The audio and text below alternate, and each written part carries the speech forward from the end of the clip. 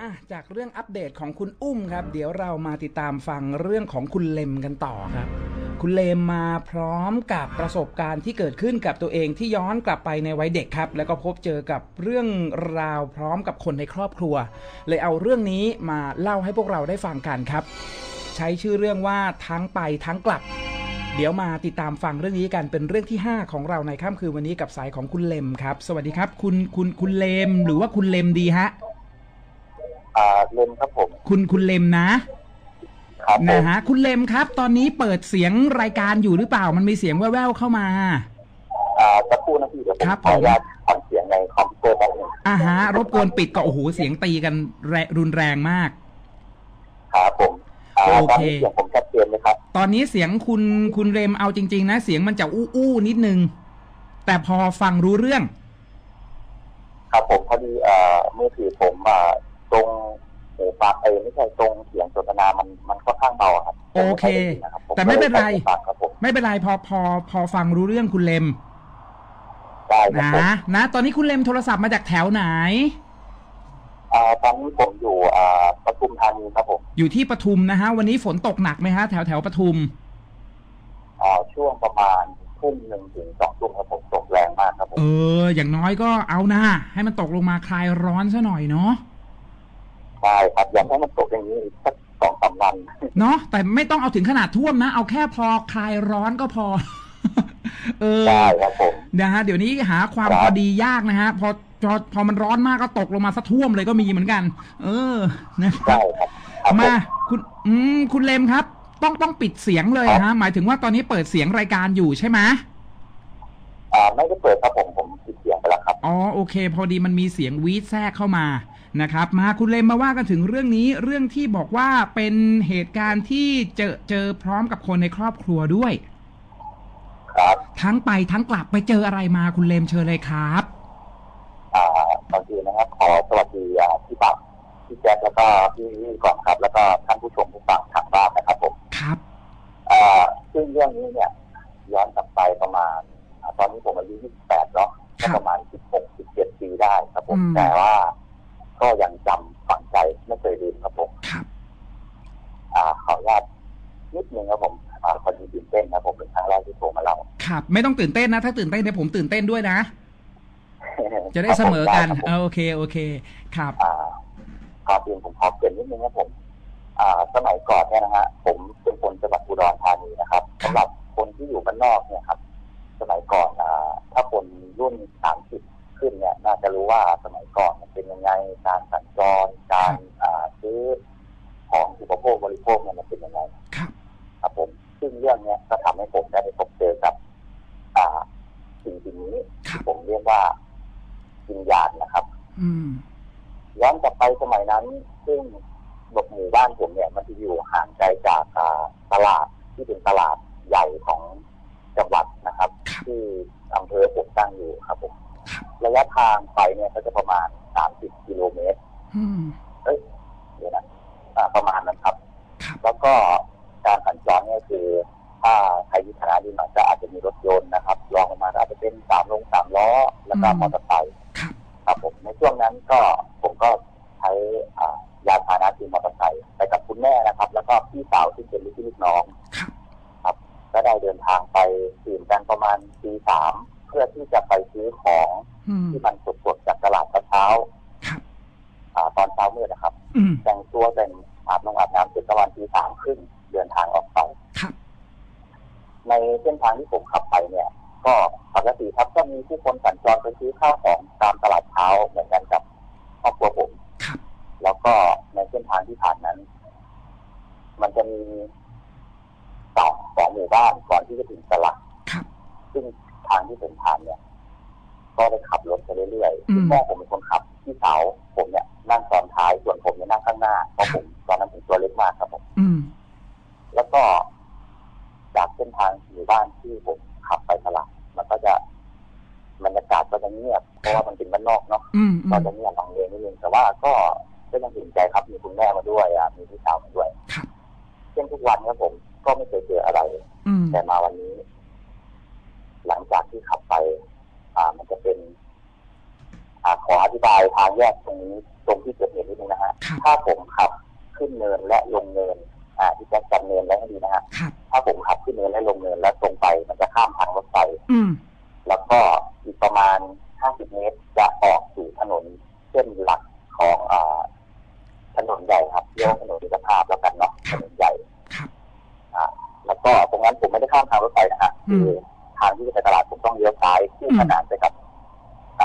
ถนนใหญ่เส้ทางของรถไฟวิ่งอ่าอ่าโอใช่เคครับผมโอเคอ่าอันนี้จะเป็นถนนเส้นเล็กครับผมอืมคู่ขนานไปผมไม่ได้ออกไปถนนใหญ่อืมครับอืผมมอืมอืมก็คือเป็นเส้นขนานระหว่างรถไฟกับถนนใหญ่ว่าอย่างนั้นเถอะ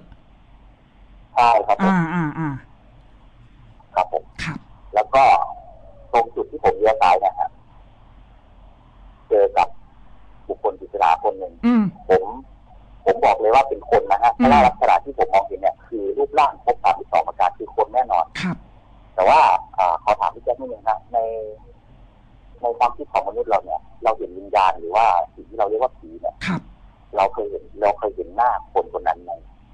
มีอ่าบางคนก็อาจจะเคยเห็นนะ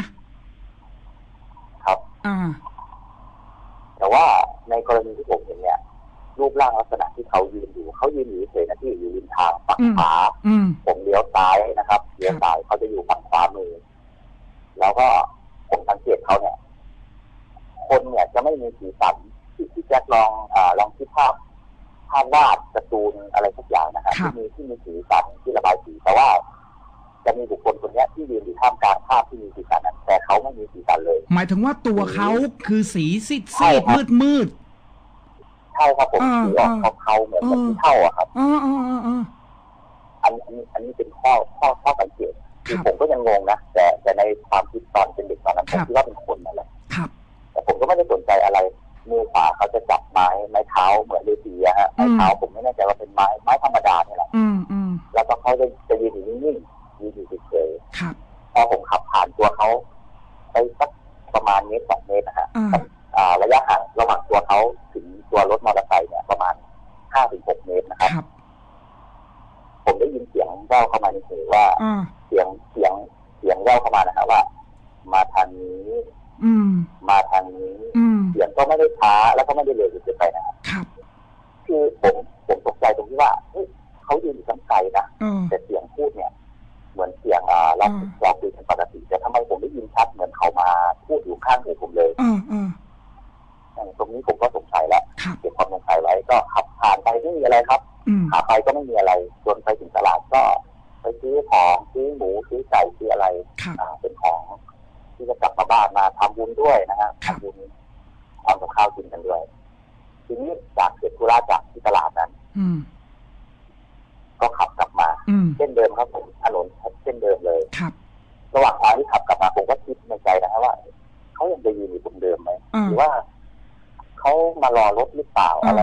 อะไรยังไงอ่าอ่าอ่า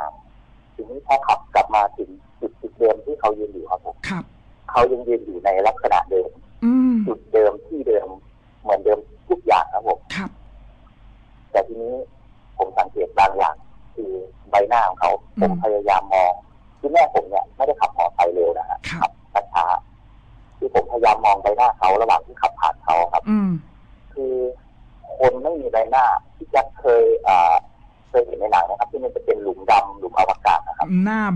มืดมืดๆไม่ไปเลยใช่ครับเออเอใช่อครับเอบริเวอณหน้าเขาจะเป็นอย่างนั้นเลยเออเป็นหลุมดำเป็นเหมือนอับหลุมอวกาศเลยครับ อันนี้คือผมเห็นด้วยตาเนื้อของตาอืผม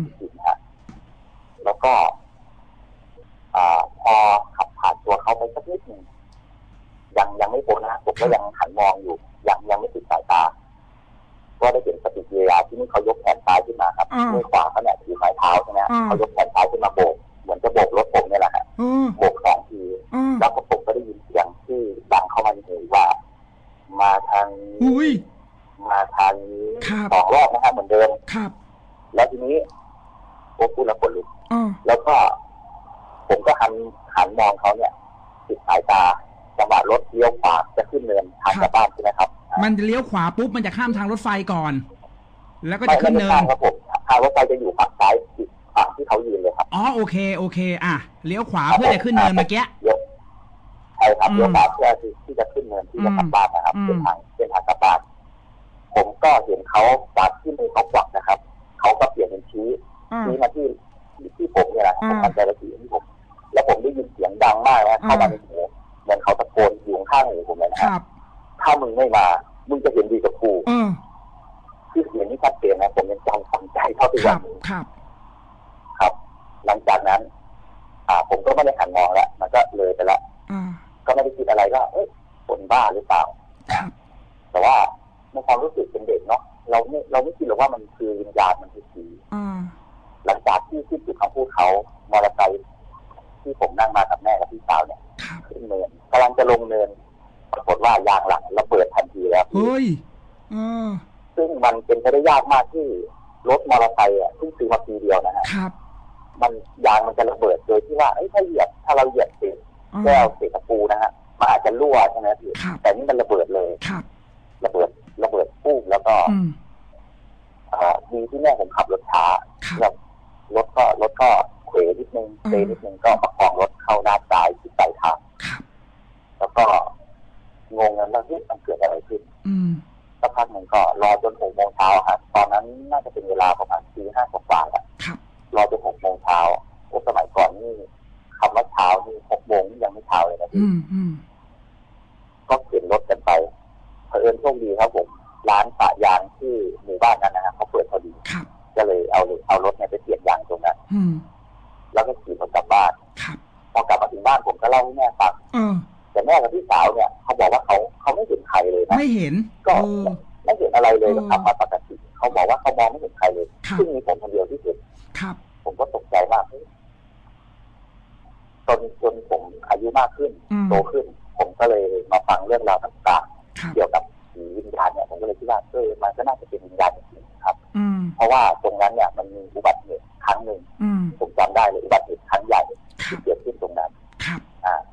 ล่าให้ฟังว่าอุบัติเหตุนี้คืออะไรอืมนะครับอืม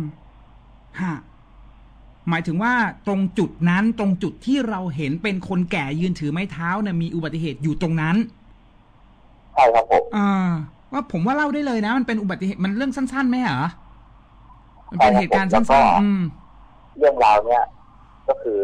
หลังจากที่ผมเจอเนี่ย ก็มีอีกหลายหลายๆคนที่เจอเหมือนกันครับ ลักษณะเดียวกัน เขาบอกว่าเขาเจอคนที่อยู่ในจุดๆนั้นอ่าแต่เขาเขาก็ไม่ได้พูดว่าเขาก็ไม่ได้อธิบายว่าเอออ่ามีมีเสียงเรียกหรืออะไรหรือเปล่าครับก็มีหลายคนที่เจอแล้วก็หนักหนักจนถึงว่าอ่าต้องไปสร้างสามเสียงตาให้เขาที่อืสุดแล้วมเพราะว่าจากอุบัติเหตุที่เกิดขึ้นครับคผรับมมันมีอ่ารถกระบะที่สองสามีภรรยา ไปซื้ออ่าเขาขายผลไม้นะขายผลไม้พวกแตงโมพวกสับปะรดอะไรนะครับเออเขากลับมาจากซื้อ ของเขาที่จะมาขายในหมู่บ้านนะครัเขาบขับข้ามทางรถไฟมาเขาเออรถกระบะมันดับ อืมมันมันแปลกมากเลยนะพี่ครับคนคนที่จะเกิดอุบัติเหตุเกี่ยวกับทางรถไฟเนี่ย มักจะรถดับถูกกต้ลาองงเออผมก็สงสัยถูกต้องเหมืนกันนะที่มันหาสาเหตุไม่ได้เลยอืมอืเพมราะว่าจุดนั้นเนี่ย ไม่เคยมีเรื่องเล่าเกี่ยวครับกับผีวิญญาณมาก่อนอืมแต่นี่เป็นครั้งแรกครับที่คนหลาย ๆ คนเจอแล้วก็อุบัติเหตุครั้งนั้นรถไฟ ได้วิ่งมาด้วยความเร็วอืมก็เบรกไม่ทันครับอืมแบบเหมือนเหมือนเช่นเคยครับผมคชรับนกลางลำของกระบะทำให้อ่าท้ายกระบะกับหัวเนี่ยขาดออกจากกันซึ่งตัวสามีเนี่ยผมผมไม่รู้นะว่าสามีเสียชีวิตหรือเปล่าเพราะว่าสามีเขาขับ ส่วนภรรยาเนี่ยนั่งนั่งอยู่ข้างหลังอืมนั่งอยู่ท้ายก็เสียชีวิตคาที่ครับแล้วก็ทำให้มีคนเนี่ยได้พบเจอวิญญาณของอ่าภรรยาของผู้ขับนะฮะอืมคือหญิงชราคนนั้นที่ผมเห็นนะฮะอืมจนจนมีการไป สร้างสารเสพติดให้ครับเขาเขาก็เลยอ่าเงียบไปก็อืมไม่ค่อยมีคนเห็นจนถึงปัจจุบันครับเออนะครับ แต่ไม่รู้เหมือนกันว่าสิ่งที่เขามาทำให้เด็กคนหนึ่งนะตอนนั้นน่ะ เจออะเขาต้องการอะไรคือ ถ้าสมมุติว่าเขาอยากจะหาตัวตายตัวแทนในความคิดของผมนะเขาน่าจะทำโทษนะฮะทำให้คุณแม่เห็นซะมากกว่าถูกป่ะเพราะคุณแม่เป็นคนขี่รถมอเตอร์ไซค์เป็นคนบังคับรถถูกไหม แต่เนี่ยคือเขามาแสดงตนแสดงตัวให้กับเด็กคนหนึ่งเห็นก็ไม่รู้เหมือนกันว่าว่าว่าอะไร นั่นคือการเจอกันครั้งนั้นคือครั้งเดียวเขาไม่ตามมาที่บ้านไม่ได้มาเข้าฝันไม่ได้มารังควานอะไรต่อใช่ไหมฮะไม่ไม่ครับเอเจออครั้งเอเดียวอครับผมเออเฮ้ยแต่น่ากลัว น่ากลัวนะฮะ คือพยายามจะเรียกจากการเล่าของคุณคุณเลมอะนะครับ คือผมหลับตาแล้วก็ลองนึกภาพ เฮ้ย เออน่ากลัวเหมือนกันสำหรับเรื่องนี้ เออ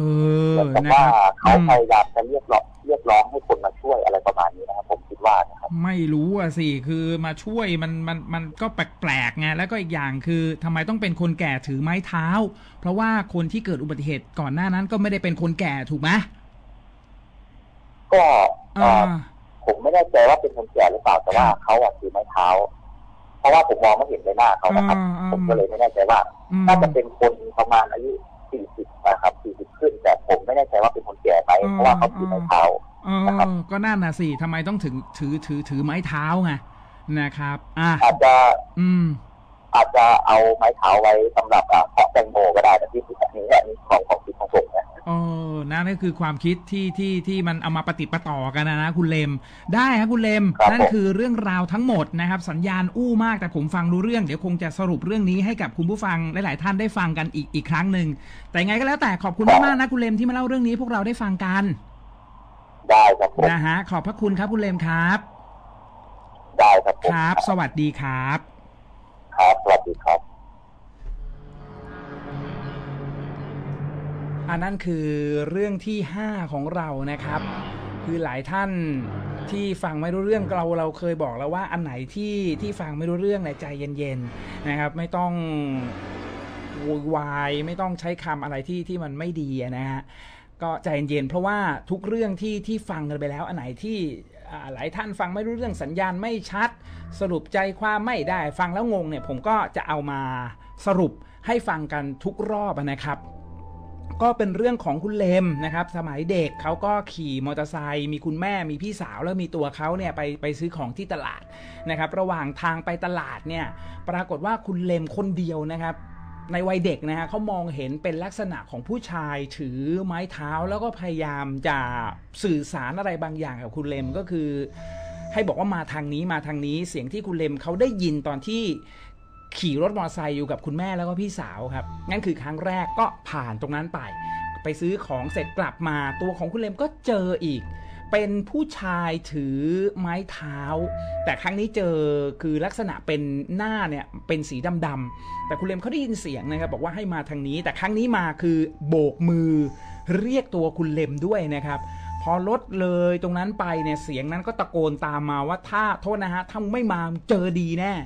นะครับแล้วก็จังหวะนั้นเองยางรถมอเตอร์ไซค์ก็เกิดระเบิดขึ้น ไม่ทราบสาเหตุอย่างที่คุณเลมเขาเล่าให้ฟังฮะ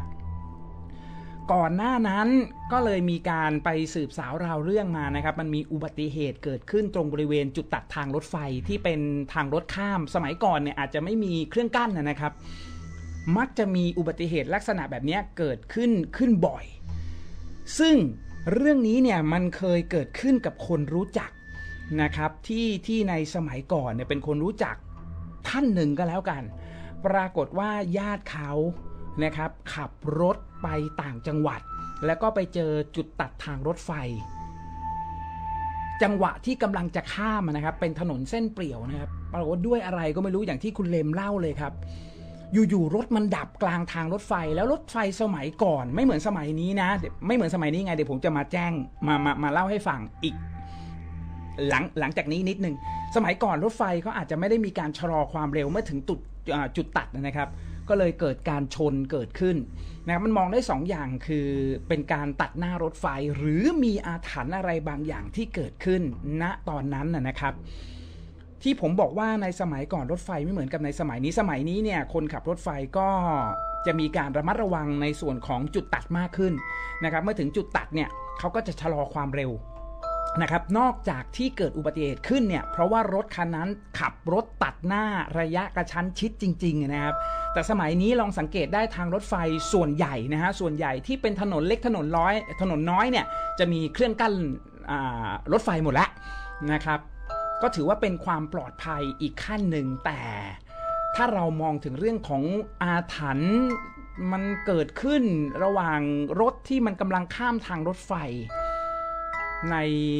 ที่เปลี่ยวๆนะครับ มักจะมีเหตุการณ์ลักษณะแบบเนี้ยนะครับ เป็นญาติของคนรู้จักเกิดขึ้นแบบเฮ้ย ตอนนั้นก็ตกใจเหมือนกันได้ยินข่าวนี้ ทั้งคันเลยนะฮะณตอนนั้นคือเสียชีวิตทั้งคันเลยครับ เช็คไปเช็คมาปรากฏว่าระหว่างข้ามทางรถไฟแล้วพอค่อมปุ๊บเนี่ยรถมันดับโดยไม่มีสาเหตุฮะจากการที่ชาวบ้านเขาเห็นนะครับ มีชาวบ้านเขาเห็นเหตุการณ์ตรงนั้นพอดีเดี๋ยวหลายท่านจะบอกเอาวเฮ้ยบอกว่าเสียชีวิตทั้งคันแล้วรู้เรื่องนี้ได้ยังไงมีชาวบ้านเห็นว่า พอรถค่อมทางรถไฟปุ๊บเหมือนดับเครื่องอยู่ตรงนั้นน่ะ แล้วรถไฟก็มาเสย นั่นคือเรื่องของคุณเลมนะครับ ก็สรุปให้ฟังประมาณนี้ครับ